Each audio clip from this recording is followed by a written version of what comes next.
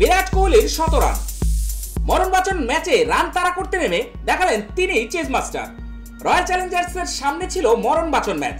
IPL এর play অফের লড়াইয়ে টিকে থাকতে হলে এই ম্যাচে জিততেই হতো তাদের।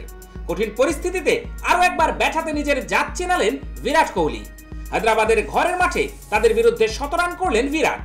আরও একবার দেখিয়ে দিলেন, রান তাড়া করতে নেমে তিনি চেজ মাস্টার। ঘরের মাঠে প্রথমে ব্যাট করে একশো ছিয়াশি রান করেছিল হায়দ্রাবাদ। রান তাড়া করা সহজ ছিল না বেঙ্গালুরু দরকার ছিল ভালো শুরু। সেটাই করেন বিরাট ও ফ্যাব ডুপ্লেসি প্রথম থেকেই আক্রমণাত্মক ব্যাটিং শুরু করেন তারা।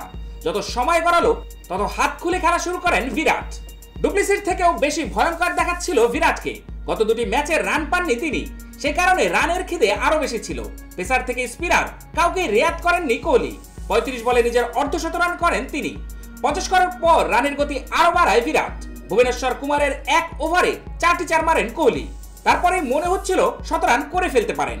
করলেনও। ভুবনেশ্বরকে এই লং রান অঞ্চলে ছক্কা মেরে আইপিএলে নিজের ষষ্ঠ শত রান করলেন কোহলি। চার বছর আগে শেষবার আইপিএলে শত রান করেছিলেন তিনি। এতদিন ধরে তিন অঙ্কে পৌঁছতে পারেননি। এবার পৌঁছলেন সেই শত রানে।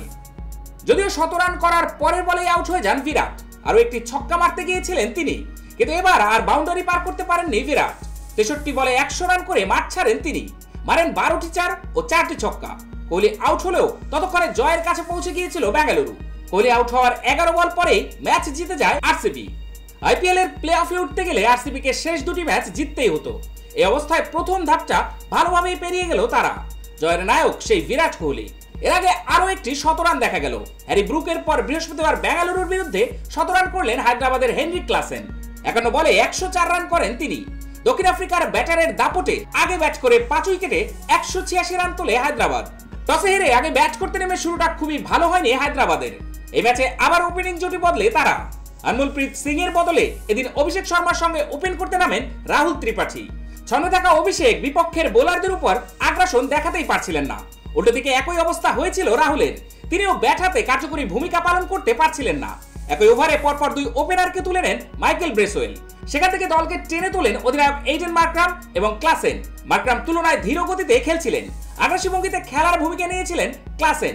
হায়দ্রাবাদের বিরুদ্ধে প্রতিটি ম্যাচে মিডল অর্ডারে দলকে ভরসা দিচ্ছেন তিনি। এদিনও তার ব্যতিক্রম নয়। মাঠের চারধারে ছড়িয়ে পড়ল ক্লাসেন শট। প্রোটিয়া ব্যাটার রেয়াত করলেন না কোনো বোলারকেই। উনিশতম ওভারে নিজের শতরান পূরণ করেন ক্লাসেন। আসলের বলে ছয় মেরে উনপঞ্চাশ বলে শতরান হয় তার। এবার হায়দ্রাবাদের দ্বিতীয় শতরান এটি। এর আগে হ্যারি ব্রুক কলকাতার বিরুদ্ধে শতরান করেছিলেন। তবে হায়দ্রাবাদের হয়ে দ্রুততম শতরান হলো তারই। মার্ক্রাম আউট হয়ে যান তেরোতম ওভারে। তার সংগ্রহ মাত্র আঠারো রান।